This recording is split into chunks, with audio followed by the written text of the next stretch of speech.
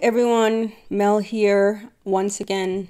Not once again, but I totally apologize for being late in my next video. Um, it's been a long, very stressful week with everything going on. Hey, life happens, so you should understand that. Um, what is upcoming? So I am planning to or I'm working on rather a video on racialized horror.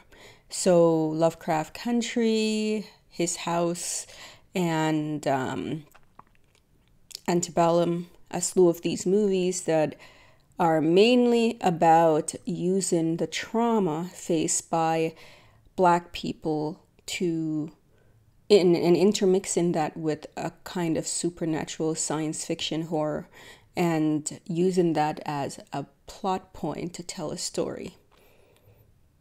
Yay or nay? So far, the consensus has been nay, but we'll see um, my take on that. So that will be coming up. I will also hopefully get around to doing another Star Trek video and um, let me know if you think I should continue reviewing Star Trek Discovery. I'm not sure I said it before, but I would rather not do a episode to episode review. That it that takes a lot of time, quite frankly, and here where I am in in Canada, the um, for some reason the streaming service doesn't put on the episode until Friday at 9 and so I'm a, usually nearly 2 days behind so I really don't want to do that. Um,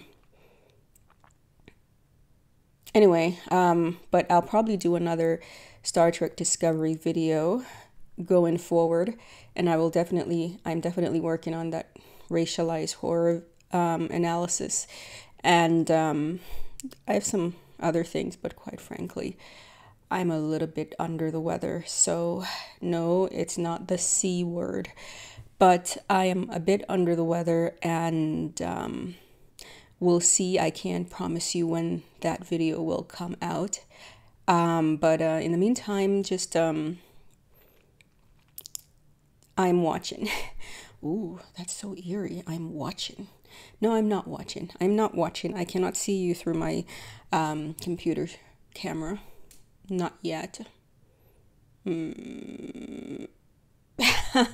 anyway, um, just I just wanted to give you a heads up on why I haven't posted anything in a while. It's been very busy here between an actual job that I'm doing in my nine to five life, as well as my some online schooling stuff that I'm working on and that I'm working on online on uh, uh, I can't even speak.